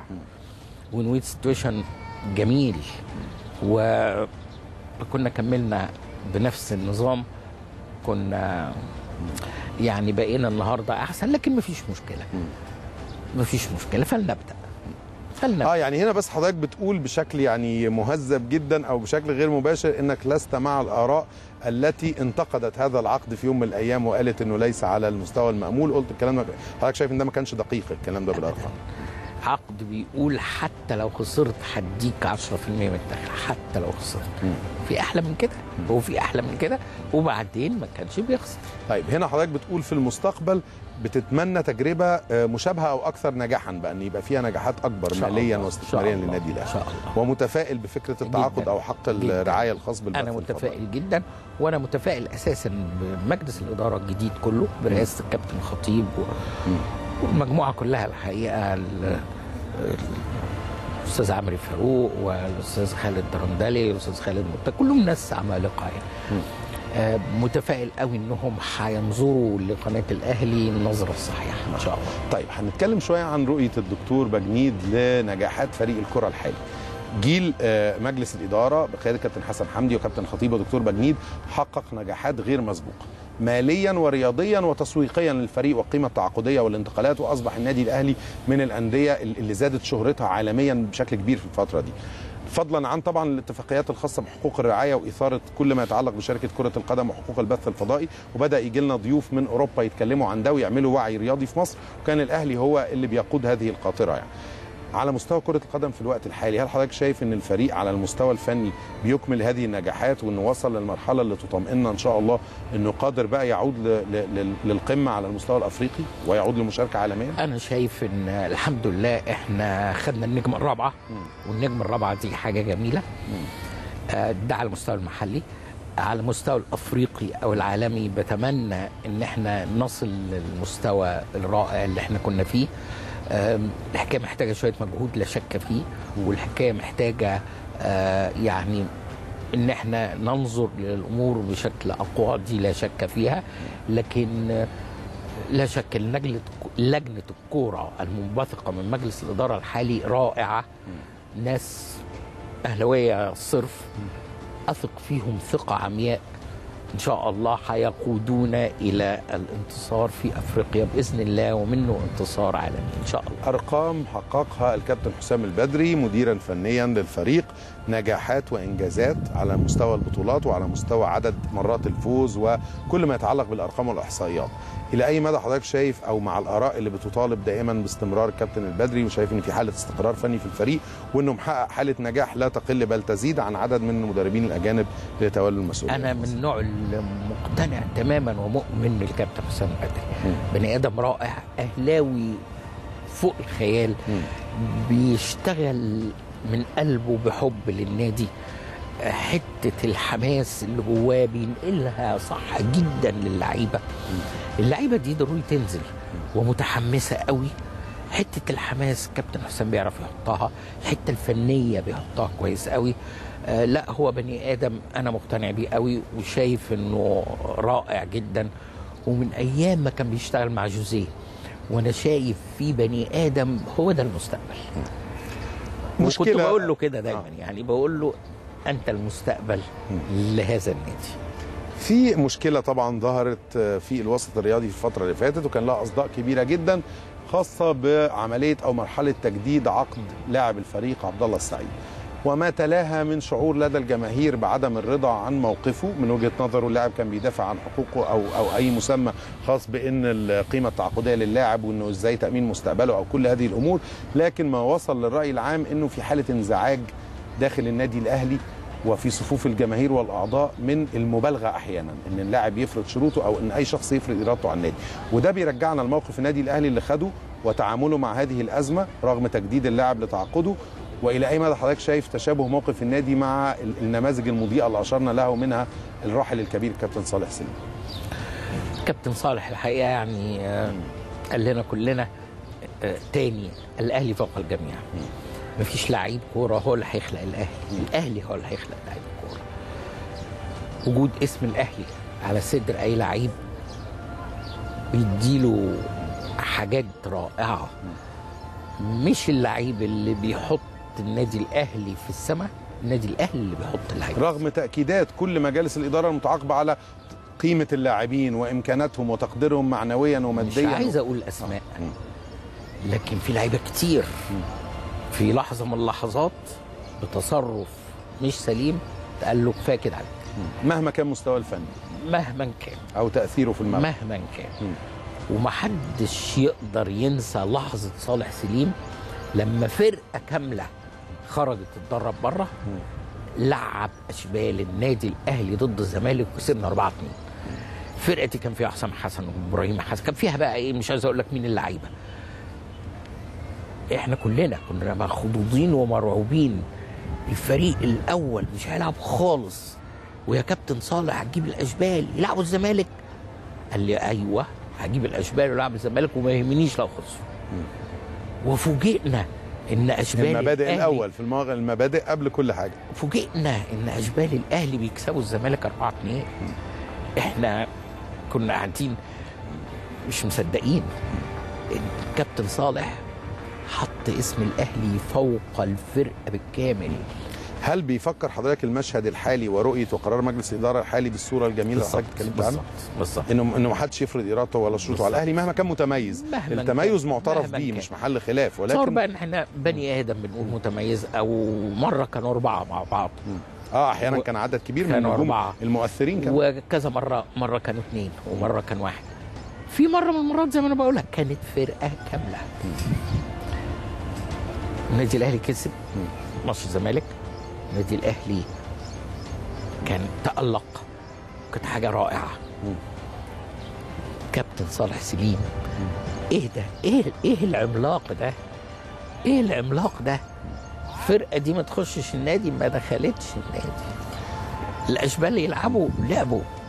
مستوى التعاقدات في الفريق الحالي. التعاقدات وتأثيرها الفني على الفريق خاصة اللاعبين الأجانب أو المحترفين اللي انضموا لأن في فترة كمان مجلس الإدارة اللي كنت حضرتك أمين الصندوق وواحد من قياداته مع كابتن حسن وكابتن خطيب آه، كان حريص على التعاقد مع عدد من اللاعبين الأجانب وكانوا مؤثرين جدا. وده غير طبعا تعاقد مع مانويل جوزيه ومرحلة من من أكثر المراحل نجاحا في تاريخ النادي.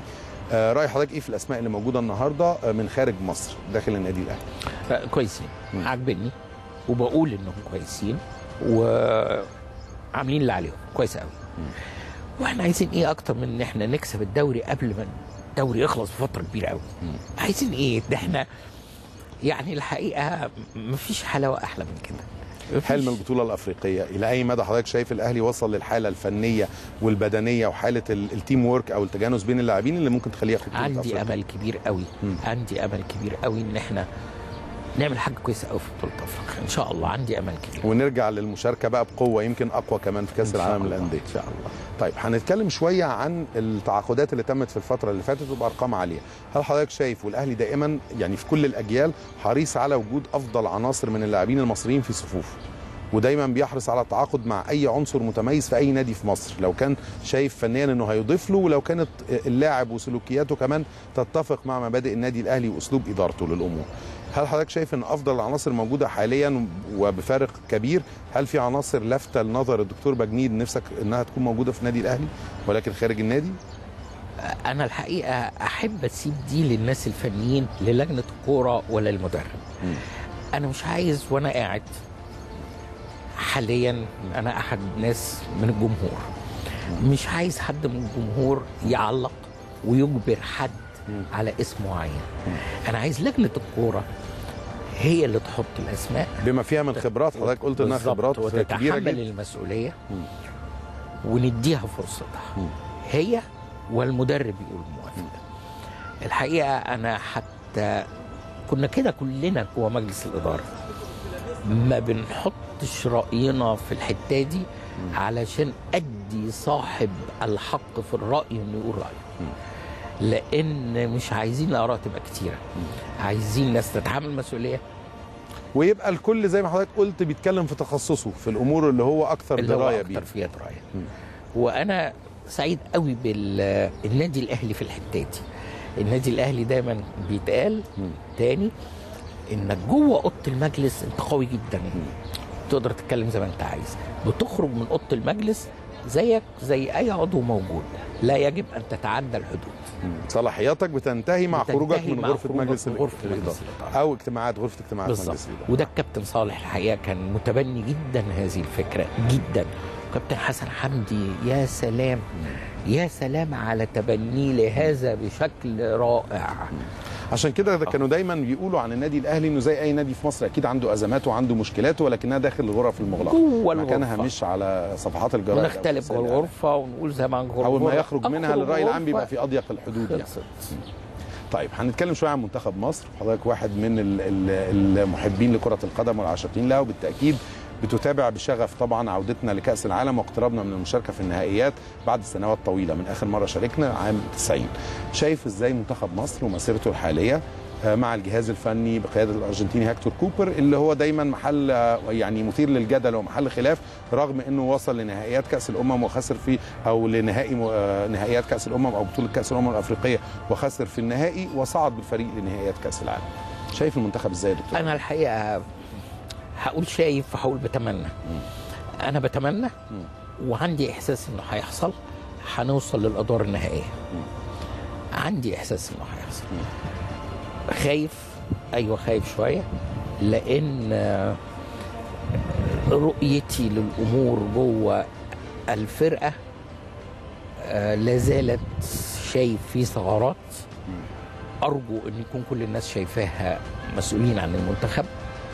وبسرعه نحاول نعالجها أنا مش عايز أتكلم فنيا أكتر من كده لكن بقول آه أنا مش عايز الناس المسؤولة تطمئن قوي عايزها تبقى غير مطمئنة شوية. علشان يشتغلوا أضعاف اللي هما بيشتغلوه دلوقتي. را- راضي عن فترة الإعداد لأن ده التحضير الفعلي لكأس العالم المباريات راضي عليه بنسبة 80% مش 100% برنامج الإعداد والمباريات. برنامج الإعداد بنسبة 80% كنت أتمنى نكسب الماتشين اللي فاتوا. كنت أتمنى وكنا نقدر بلا شك. لكن التجربة اللي زيادة عن اللزوم خلتنا ما نكسبهمش. ويمكن ما كانش المكسب مهم عند الإدارة قد التجربة. ده اللي أنا حسيته. يعني حضرتك مع الرأي اللي بيقول إن مكسب أو الفوز في المباريات المهمة مع فرق قوية قبل المباريات الرسمية بيدي ثقة بيدي أو له ثقة. تأثير على صورة بيدي الفريق ثقة الإيجابي. لا شك فيها. إنما كان في رأي مخالف ليا وهو رأي الإدارة إن أنا مش عايز الثقة قد ما عايز أجرب. آه كان في رأيي إن آه، الإدارة آه بقى لها فترة كبيرة. فاللي أنا كنت بعتقد إنها خلاص جربت. واستقرت على الأساسيين واللي ممكن. يشاركوا. لكن خلينا نديهم فرصتهم. وغلط دلوقتي نقول لكن حضرتك. أكثر ميلا للآراء اللي بتقول إن عندنا فرصة كبيرة إن شاء الله نتخطى الدور الأول أو متوقعين. أمل كبير جدا فيهم. كبير جدا فيهم. وأحب قوي إن كلنا نبقى وراهم ونبقى بنشجعهم ونبقى بنقول لهم إحنا وراكم. أحب قوي نعمل كده. وعندنا أمل أكيد إنهم إن شاء الله يشرفونا. إن شاء الله. دكتور بجنيد أي رسالة حضرتك حابب توجهها لجمهور النادي الأهلي أو توجهها لمجلس الإدارة الحالي اولا بقياده الكابتن الخطيب أو لأعضاء النادي عايز تقولها عن الفترة دي وعن المرحلة اللي جاية؟ أنا يعني آه، سعيد بالثلاث أشهر اللي فاتوا بقول للمجلس الحمد لله الأمور كويسة. بتمنى إن إن شاء الله ربنا يوفقنا كلنا. يوفقكم وإحنا وراكم. إن نعمل اللي وعدنا بيه وده إن شاء الله وارد وده إن شاء الله هنشوفه كمجلس إدارة ده أنا بقوله. فده إن شاء الله. أما جمهور الأهلي بتمنى منه ال- المساندة والمساعدة أكتر من كده. بتمنى أشوف مساندة أكتر وأشوف حضرتك تقصد أكتر. في الملاعب للفريق ولا لمجلس الملاعب، الإدارة؟ في الم... لا. مجلس الإدارة كرأي عام يعني في الشارع خالص. الرياضي. آه. أنا بتكلم على ادي سبورت للفريق أكتر حتى مع فكرة. إن الجمهور لسه بيشارك في حدود قليلة آه أنا لازلت بقول للجمهور لما يروح بحدود قليلة ويتصرف بطريقة ظريفة ده هيدي فرصة أنا فهمت النقطة اللي حضرتك عايز تتكلم على حضرتك عايز تتكلم عن التزام الناس بقى لما يبقى في. مباراة في البطولة الأفريقية بالظبط، وإحنا بالظبط. بنحاول نرجع بالجمهور حتى لمبارياتنا كده، المحلية. بالظبط كده. وعيهم بقى ودورهم في ارجو المساندة أرجو إن الوعي يزيد قوي والالتزام يزيد قوي وعلى فكرة ده دور قناة النادي الأهلي قناة النادي الأهلي دورها الرئيسي عمل وعي كبير عند الجمهور يخليه يشجع بطريقة معينة وجميع القنوات على مستوى العالم من الناحيه السياسيه حتى من الناحيه الاقتصادية حتى ومن الناحيه الرياضية. ده أنا ببني داخل الناس حب وطريقة في التشجيع. فكر نمط وعي عام وسلوكيات في سلوكيات. ونمط مش هيعمله غير قناة الأهلي. لا يمكن قناة تانية هتعمله لأن قناة تانية مش ده اهتمامها. إنما اهتمام قناة الأهلي ان أنا أنشئ فكر ووعي داخل الأهلاوي الجميل الأهلاوية جمال رائعين والله يعني أنا بشوفهم وبقعد معاهم ناس إيه إيه الحب ده وإيه بس عايزين حتة نربي فيهم حتة نسيطر على انفعالاتنا إزاي؟ يبقى كرة القدم ملاعب الكرة؟ للكرة. مش لأي أفكار بعيدا عن الرياضة وده مسؤولية قناة النادي الأهلي. طيب هنتكلم عن التحدي الأكبر الذي يراه الكثيرون. هل حضرتك تتفق ولا تختلف مع الآراء اللي بتقول إن التحدي الأكبر أمام مجلس الإدارة الحالي وأمام آه، النادي الأهلي بشكل عام هو آه، يعني مشروع القرن أو مدينة الأهلي الرياضية؟ لضخامة هذا المشروع وحجم التمويل المطلوب والتفاصيل الكتيره اللي هتبقى مصاحبة لعمل زي ده. طبعا دي حاجة في منتهى الأهمية بس اللي بتمناه إنها تبقى شركة مساهمة مصرية المساهمين فيها هم أعضاء النادي الأهلي. ما أحبش إن النادي الأهلي يتملكه حد أجنبي. أحب النادي الأهلي يتملكه اعضائه فاللي بتمناه استاد كبير قوي. حاجة فخمة قوي حاجة عظيمة قوي اللي دافع فلوسها أعضاء النادي الأهلي ولا بيملكوها أعضاء النادي الأهلي. طب ولو كان الاتجاه أو عالميا واستثماريا أو المتاح على أرض الواقع بيقول إن قادم كيانات كيانات عربية أو أجنبية لتدخل في شراكة في هذا المشروع. زي ما أنا قلت لك كده. يبقى الاستاد باسم معلن من الشركات العالمية. شركات مساهمة. مم. المساهمين فيها مين؟ أعضاء في النادي أو أنا عايز أقول ودي حاجة مثبتة هنا في النادي إن لما عملنا الرسمة بتاع أهلي الشيخ زايد جبت من إنجلترا شركة أعلنت إنها مستعدة تبني الاستاد مجانا نظير 20 سنة إعلانات. مش تمليك إعلانات. ياخد الإعلانات لكن الامتياز الإعلاني فقط. الامتياز الإعلاني بس. لكن مين اللي بيملك الاستاد النادي الأهلي. النادي الأهلي. وأعضاء النادي الأهلي. كحق في الاتفاق على المباريات واستغلاله أعمل فيها بقى إيه؟ كمان. أعمل فيها حفلات ومباريات كورة ومباريات هاندبول وحفلات جري وحفلات و لوكاندا و كل صالات التدريب أو الملاعب الفرعية. ومعسكرات واللوكاندا التدريب تعمل آه. آه آه انكم أو تعمل دخل. دخل, ويجي دخل من المباريات ويجي دخل من كل حاجة يجي دخل من كل حاجة لكن ده بتاعي اولا وأخيرا النادي يكون هو مالك هذا الحق هو اولا وأخيرا حتى لو. بيعطي في التعاقدات بعض الامتيازات عرض رسمي من شركة إنجليزي رسمي طب ف... فده اللي أنا تتمناه. أحبه أو ده الشكل اللي حضرتك شايفه الأفضل للنادي. آه. طيب هننتقل لنقطة تانية ليست بعيدة عن اللي حضرتك كنت بتتكلم عنه دلوقتي. آه، فكرة وجود داعمين من خارج مصر للنادي الأهلي. دعم عربي دعم أجنبي محبين للنادي. ويعني ده آه، آثار جدل كبير في الفترة اللي فاتت. ما بين كل من يؤيد هذا الاتجاه وطبعا كابتن خطيب ومجلس الإدارة أكدوا إن هم أي دعم بيأتي لا يدار إلا من خلال القنوات الشرعية ومن خلال جميل. الاشتراطات اللي بتمليها كل القوانين المنظمة للعمل الرياضي وعمل. الأندية في مصر والناس سعداء جدا بنماذج يعني قالوا دعم في صفقات دعم في مشروعات محاولة آه، تقريب وجهات نظر بين الأهلي وبين مستثمرين عرب وأجانب ده مثلا من الأدوار اللي قام بيها المستشار تركي آل الشيخ في الفترة الأخيرة وما بين من يتخوف من أن يكون لهذا الأمر أو اللي بينتقد ده ويقول إن ده قد يكون له تأثير على حرية القرار لدى مجلس إدارة النادي أو سياسات النادي. حضرتك شايف الإشكالية دي إزاي عشان البعض لا، لا, يزايد عليها أنا بلا ولا شك. يستخدمها بشكل يحاول من خلاله إنه يضر بالنادي. بأؤيد الدعم بكل صوره. بكل صوره. الراجل اللي جاي يدعمني والراجل بيحبني وجاي يدعمني أهلا بيه ومرحبا بيه. ده جاي يدعمني. أنا مبسوط قوي إنه جاي يدعمني. بس بلاش يتملكني. يدعمني وأنا اسمي النادي الأهلي. آه ال- نفس الفكر اللي حضرتك اتكلمت عنه عن, عن. المشروع أو عن. الاستاد أحب قوي دي. الدعم شيء يسعدني وشيء الأمير عبد الله قبل كده إدى النادي الأهلي دعم. رحمه الله الأمير عبد الله الفيصل. عبد الله الفيصل. إدى النادي الأهلي دعم كان وقت. كابتن صالح سليم. وقت كابتن صالح سليم. واداها للكابتن صالح. كابتن صالح شايله كده حطه للنادي الأهلي. النادي الأهلي هو الكيان. طول ما أي حد بيجي من الخارج يديني دعم. أنا أقول إيه ابوسه من هنا حضرتك هنا بتقول إما أن يكون دعم أو شراكة فيها امتيازات للطرفين ولكن المالك للحقوق دائما ابدا أو المالك للأسيتس نفسها للأصول النادي الأهلي. بالظبط. ده الأساس اللي حضرتك دايما. بتطالب بيه. ده أنا اللي أنا بطالب بيه بصفة مستمرة.